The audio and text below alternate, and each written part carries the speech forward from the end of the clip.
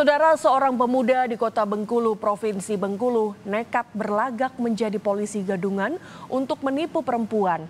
Saat dibekuk polisi, pelaku sedang memakai narkotika. Lampunya hidup, eh, Bos. Tunjukkan, tunjukkan dengan Apa ini? Apa ini? Tunjukkan dengan dia. Apa ini? Ini apa? Awan Oski. Ah, Ini apa?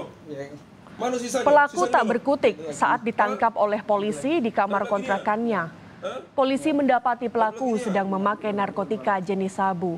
Pelaku dilaporkan ke polisi oleh teman perempuannya lantaran pelaku tidak juga mengembalikan sepeda motor dan uang korban. Kepada korban, pelaku mengaku sebagai anggota Polres Rejang Lebong, Bengkulu. Jaket lah. mana baju baju polisi itu mana? Tidak dong. Baju Baju polisi itu mana?